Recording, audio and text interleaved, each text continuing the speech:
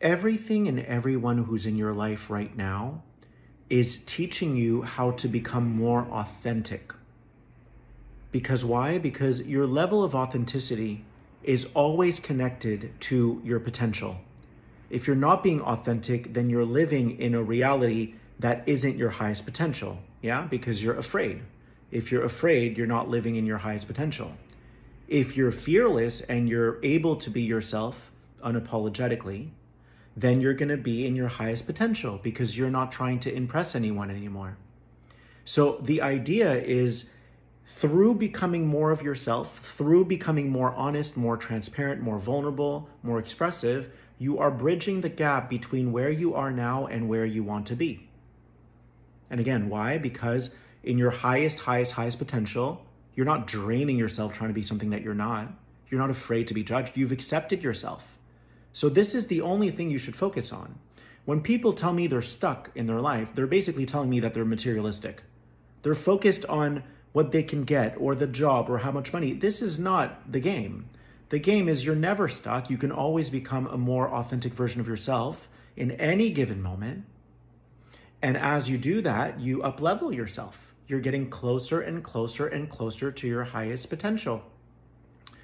Now, if you have friends that you can't really be yourself with, you'll find out that they weren't your true friends because they're only there because you're you're supposed to see that you're not being authentic. And then when you when you raise the bar, when you start becoming more of your true self, maybe one of them will stick around because they were feeling the same things as you. Most of them are going to fall away. You're leveling up, you're getting to the next level. Now you're with people who aren't talking over each other all the time. You see? Same with your jobs. Your authentic self isn't complaining. That's not your, the truest you complaining. The truest you doesn't want to be there. So you have to be that truest you, be that truest you and, and, and be in that space as if you already are successful, as if you know this is going to be temporary.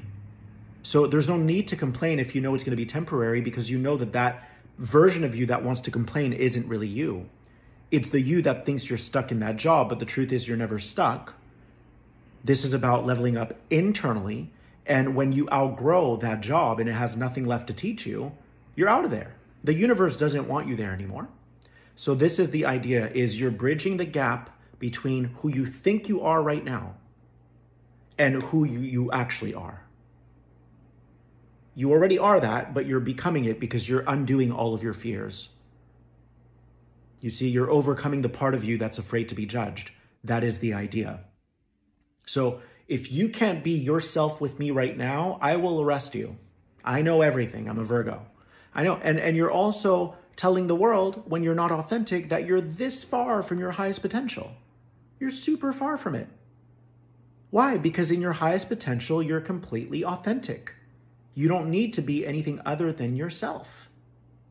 So if you're not able to be yourself with the people in your life, if you're walking on eggshells with your husband, if you're complaining at your job, which again isn't your truest self, okay, that's you resisting your truest self, resisting doing the work. If you're unable to be super honest and real with your friends, then yeah, you have to question the reality that you're in. It's solely there to teach you how to become more of you. And when you become more of you, you're thankful because it taught you how to become more of you, but that won't be there anymore. You've outgrown it. This is the idea.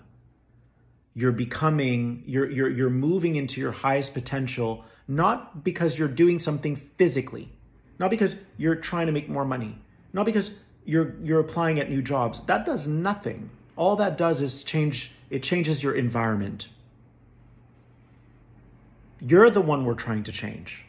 We're trying to help you remember that you're perfect as you are. You don't need to put up a facade. You don't need to be something other than yourself.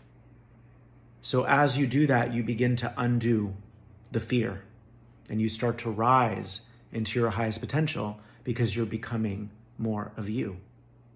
All right. I hope that helps you. This is an internal game. You have to organize your mind. You have to organize your thoughts. You have to organize everything and ask yourself, who am I really? I need to be that in a physical way. I need to be myself in a physical way. I need to verbalize my truth. I need to set the boundaries I need to set. I need to not hang around people that make me feel uncomfortable. I need to be myself. And everything starts to fall away.